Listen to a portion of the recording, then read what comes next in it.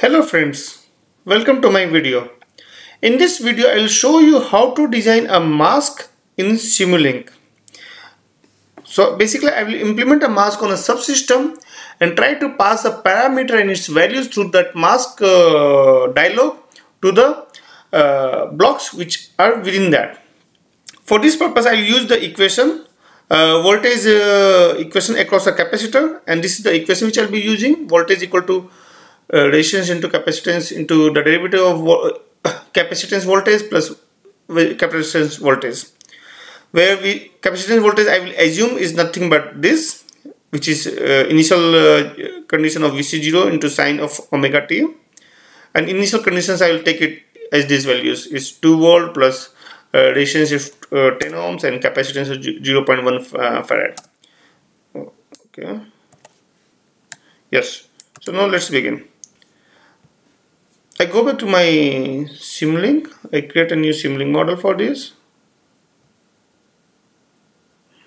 Okay. Before I do something, let me save this model. Uh, mask in Simulink. You can choose any name as you want. Once it is done, so now let's start. So first let's have a uh, let's create this uh, vc0 into sine of omega t so that we can create using a sine waveform. So we can have this and in this what we can ha have is so probably we'll name it as my vc yeah. Sounds good. And I will name it the amplitude as vc so this is something a variable which we have two options. Either we take it from the base workspace or we pass it through this um, uh, through the mask. We will pass it through the mask parameter. So once we have this VC uh, what else we need is we will need a derivative of this. So we will just have a derivative block in, implemented.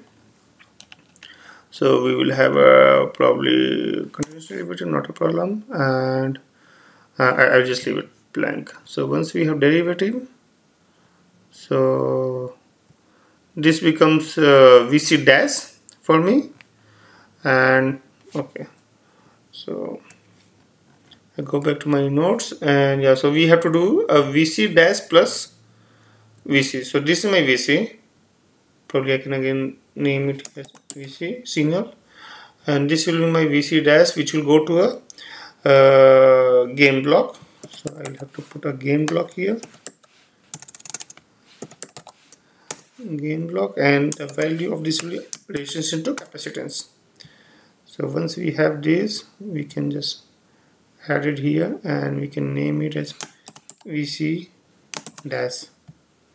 Yes. Now we will add, need a summation block or add block and we'll add this VC plus over here and VC from here. So this becomes my voltage so this I can take it into a scope. So I will add a scope now over here. Scope. I will make it two axes. So in the first axis uh, in the second axis I will give the output and in the first axis I will give the input which is my nothing but my VC. Yes. So here everything becomes.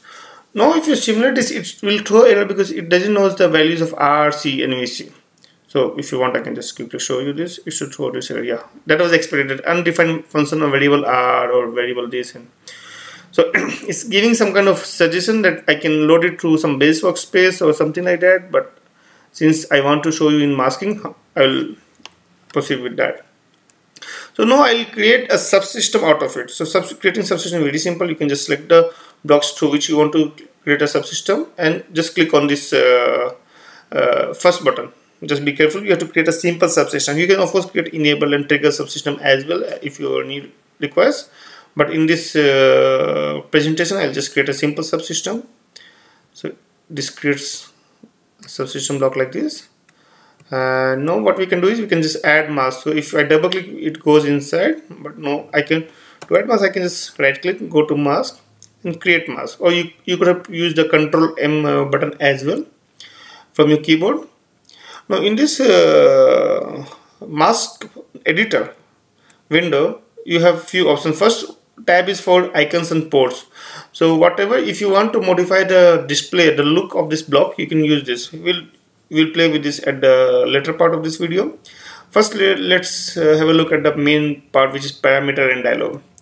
So over here uh, what are the uh, 3d parameters which we need are we need R, uh, VC, R and C. So we need uh, initial voltage, voltage of the capacitance. So we'll add one. And this is a prompt which we can add. Voltage capacitance and we can make this as a VC. And the initial value for this was I think uh, 2 volt over here. So I will just add uh, 2 over here. And then I will go to the next parameter. This will probably my resistance.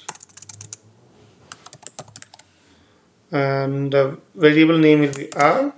So please be careful. This first is for prompt and the second one is for the name the actual variable name which will come. It was 10 ohm the initial condition. The third one will be my uh, sorry my this one. Capacitance. Okay I think it's going wrong. Capacitance or capacitor. Oh, and probably I will go with uh, resistance and capacitance thing. Okay and this is C and the initial value was 0 0.1 so once we have it we can just click apply. And you saw that the color change of this block. That's because of this mask.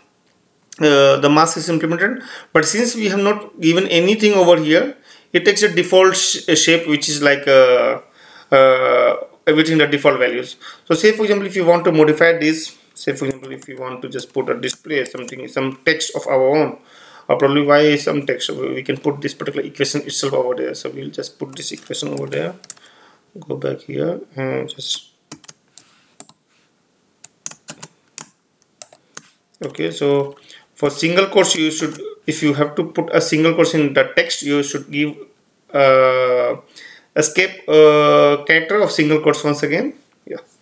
So once we have it we can just uh, quickly just uh, click on apply and this will change. So if you notice this our text whatever we gave here it came over here. And also you can see the preview here.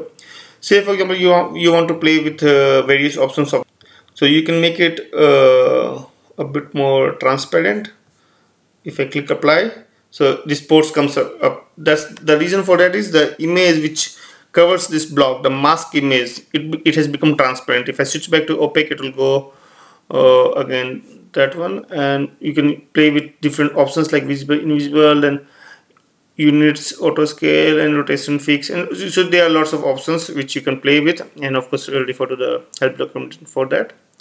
So once we have these things now if you double click this is the mask uh, dialog or mask window which we have created using these parameters in dialog window. So see if you see whatever the things which we have written here in the voltage and capacitance uh, this prompt it has come on the left side and the rest the value has come on the right side. These are the initial values but the variable within is uh, is this these things you can also have various options here. Attributes you can make it enable disable visible.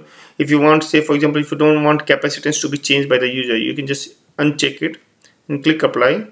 So if you notice it became you can still see it but uh, the user can see it but he can't modify. So these are some of the options. Say for example if he wants to you if you want to hide it from the user you just make it invisible. It goes off.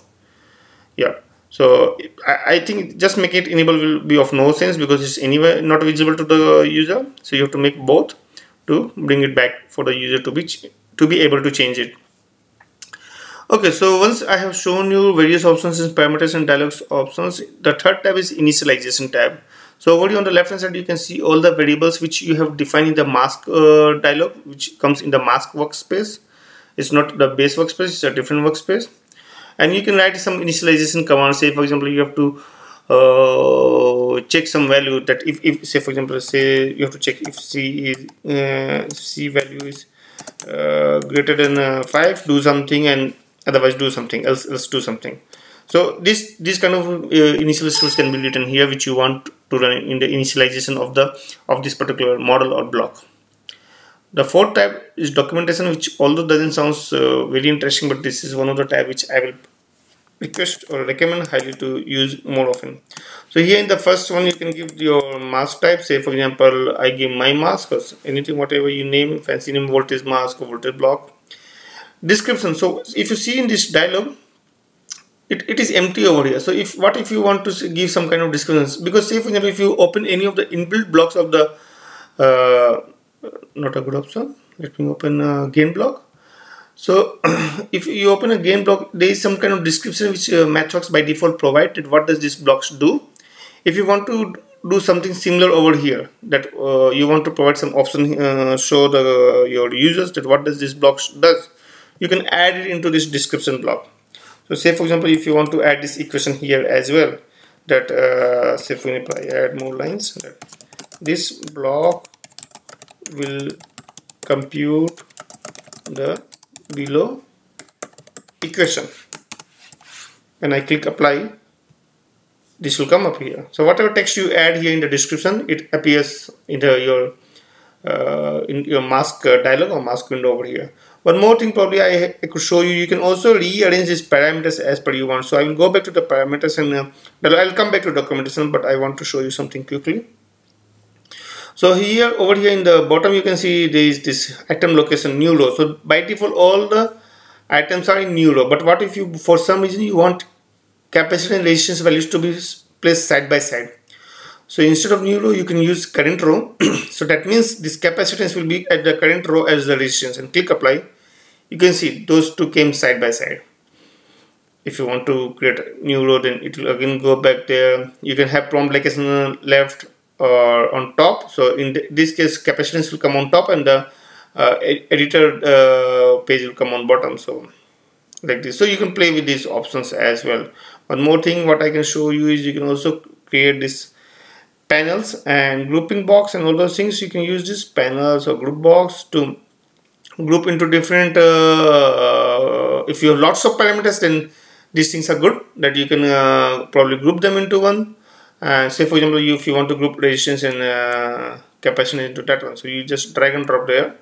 And these two if you click apply see it came in a separate group over here. What if you want to give some name to that group so you can give basic parameters. So this will come over here as a basic parameter. So probably that is a voltage and uh, so and even you can change the first one. So you can probably change it to say probably say for example voltage and click apply. So the first one becomes voltage and this becomes basic parameters. So this way you can make it more fancy and uh, the way you want to design it. You can make group and panels uh, for your purpose. Okay I go back to the documentation tab again. So I explain you what does this type and description does. So for this help if you are wondering what does this place will do. So if you click this help button it will take you to the help documentation of this particular block. But if you have not entered anything it will come as empty.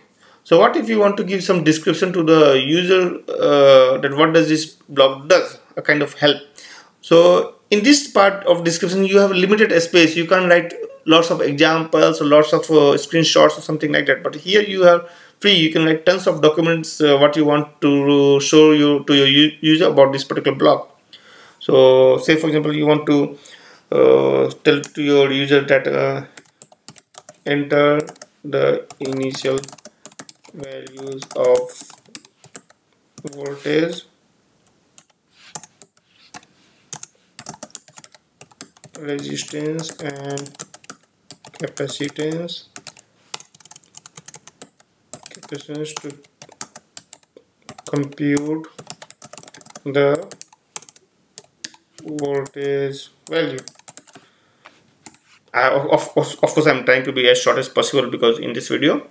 So if I click help again so what I entered here appears here. Yes.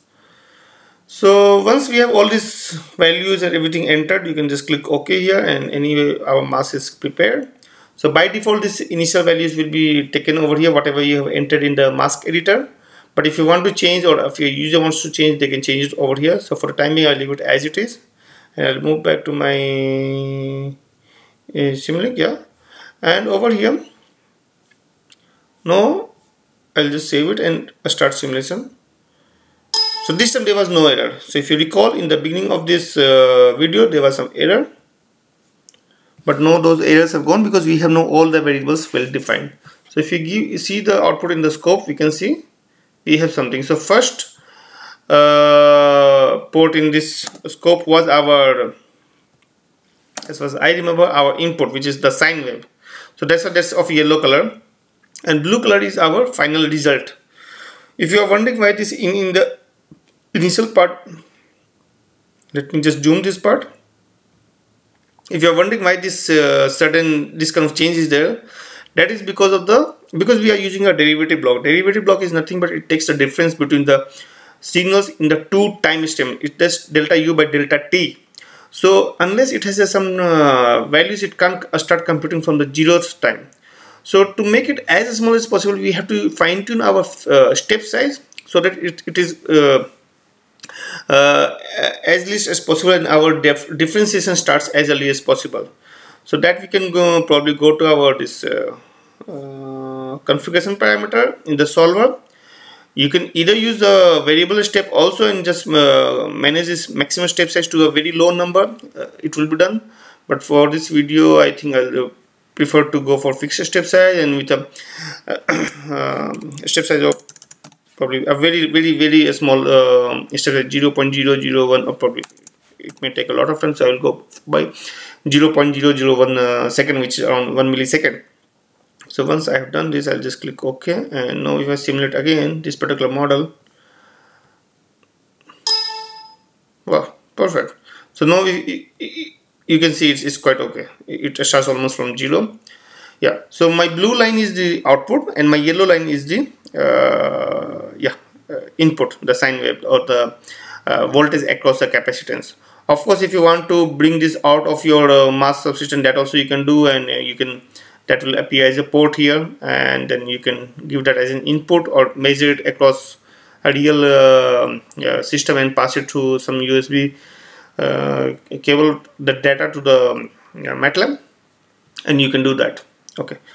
So once we have this uh, mask working fine so you can even play with different values and see what what are the changes in our output say for example we increase the capacitors re, re, sorry resistance to a very high value and we just save it and see it becomes somewhat very big so probably we can just double click here and I'm not sure why this is not happening so we should use this button yeah so you saw the value of this output changes drastically. Of course, you have to do some math and figure out if uh, what is happening and to understand this. But more or less, uh, things are working pretty much fine over here. Okay, so that's all. One more thing before I end this video, I would like to show you that uh, you can do this, whatever the data you are getting over here in the scope, you can also uh, send it to your workspace in the MATLAB so that you can log it, uh, you get it into a .mat file. So for that what you can do is um,